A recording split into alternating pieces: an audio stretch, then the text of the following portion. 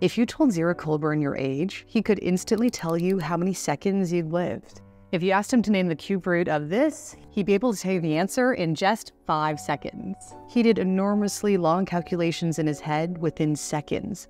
And then his gift began to fade. This is the sad story of how a boy lost his genius. There was nothing in his upbringing that could have predicted this level of genius. Zerah was born in the small town of Cabot in Vermont on September 1, 1804. He grew up on a farm where his father Abia worked as a craftsman to support his large family of nine children, two of whom died after he settled in Cabot. As Zerah described in his memoir, which he wrote in the third person, his parents were plain people, and in regard to the early years of this their son, they considered him to be the most backward of any of their children. Zerah's parents didn't think he was very smart at all.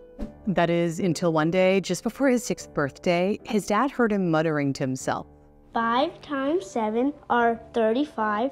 6 times 8 are 48.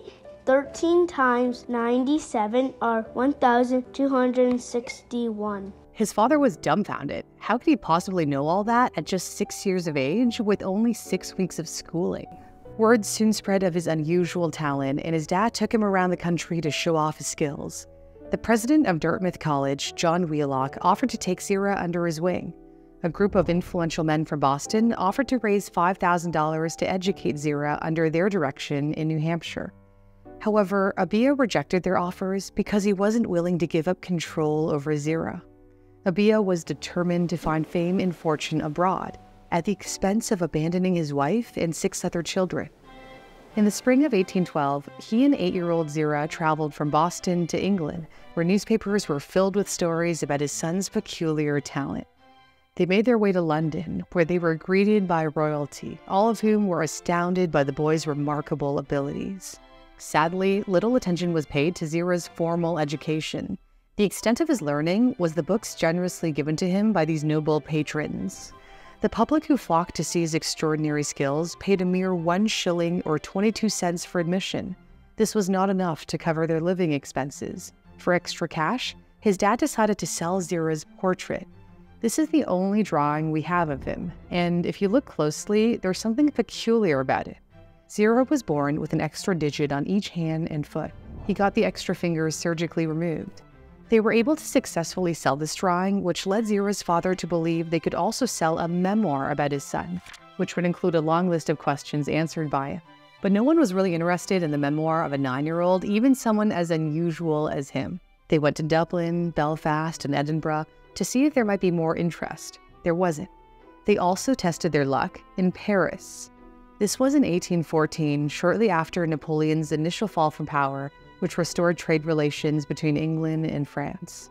After showing off his son's skills for three months in Paris, they took a break, and Zerah finally started attending school.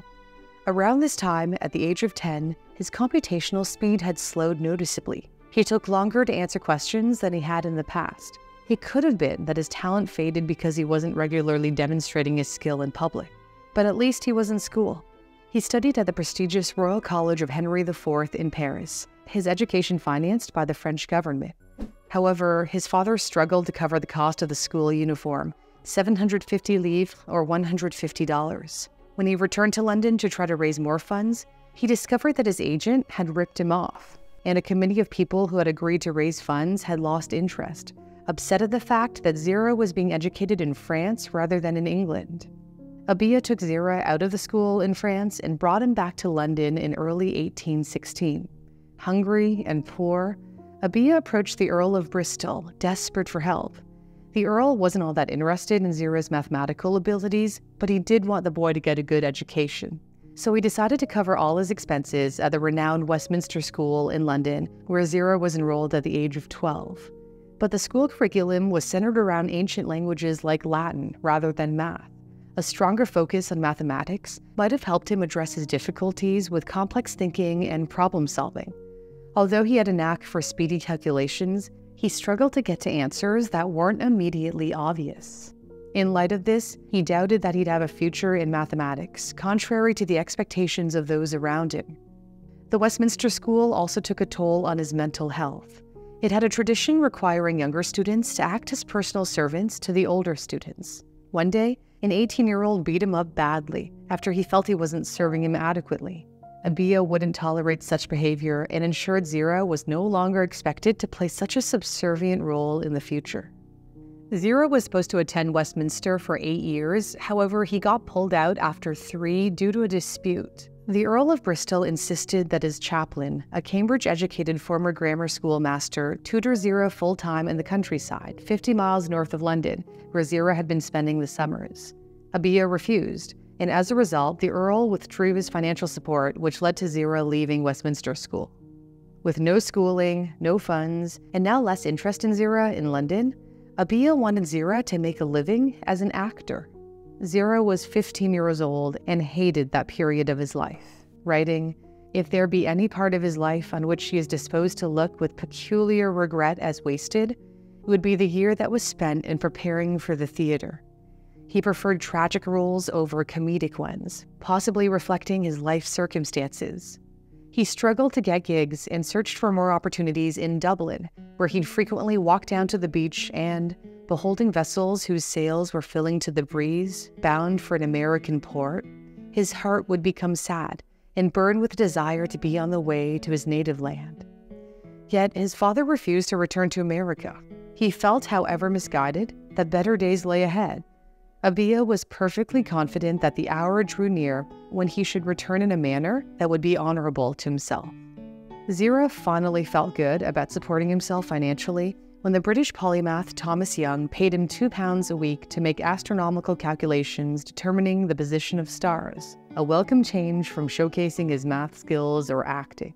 Just when things appeared as if they were finally taking a turn for the better, his father's health took a turn for the worse in late 1823. Abia Colburn was not indeed a victim to hard labor of body, but to something more destructive of health labor and care of mind. They'd been away from home for over a decade with nothing to show for it. On February 14, 1824, Abia died of tuberculosis. He was 54 years old. Zerah knew he could have left his father and benefited from the support of others, but he couldn't bring himself to do it, fearing the regret he thought he'd feel. While on his deathbed, Abia told Zerah it would be best for him to return home as soon as possible. On May 25, 1824, he set sail from Liverpool to America, returning to his mother and four brothers and two sisters whom he had not seen for 13 years.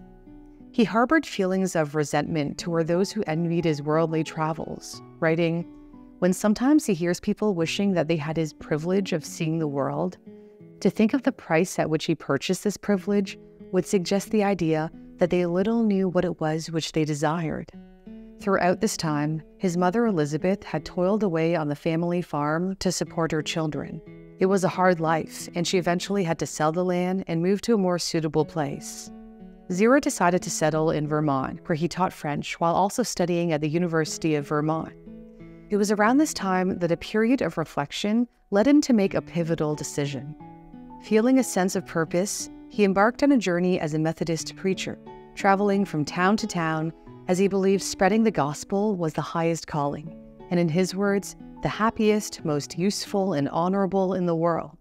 He felt his mathematical gift was a gift from above, writing, God was its author. Its object and aim, perhaps, are still unknown. He wondered if he was meant to make meaningful contributions to science. He wondered if his gift was intended to bring him into the public eye, enabling him to spread the word of God. Either way, by adulthood, his genius was all but gone. He no longer possessed the remarkable mathematical abilities that brought him so much adulation as a child. He lived a normal life and married Mary, a woman from Vermont with whom he had five daughters and a son. After nine years of serving as a preacher, he worked as a professor, not of mathematics, but of languages at Norwich University in Northfield, Vermont. He remained there until he died of tuberculosis on March 2, 1839, at the age of just 34, the same disease that took his father's life.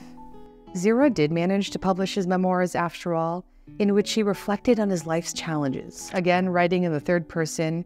His father paid dearly for the singular talent conferred on his son. Yet, in many ways, it was Zerah himself who paid the price, as he was never given the opportunity to nurture his exceptional talent. I'd love to hear what you thought of this story. Let's connect on X. I'm at Newsthink. The link is in my description. It's heartbreaking to think about what Zerah could have become if he had the right support and resources to nurture his talent. In today's world, we are fortunate to have access to a wealth of knowledge and tools to help us reach our full potential. One resource, which is free for you to try out, is Brilliant, a website and app where you can learn math, computer science, and data science interactively. Brilliant's mathematical thinking course will change the way you see numbers as you tackle real world problems involving fractions, ratios, and percentages. Whether you're looking to brush up on your skills, learn something new, or progress to more advanced lessons, Brilliant customizes content to fit your needs so you can solve at your own pace. There are no tests. I like to take a few minutes out of my day to sharpen my analytical thinking skills with their logic puzzles.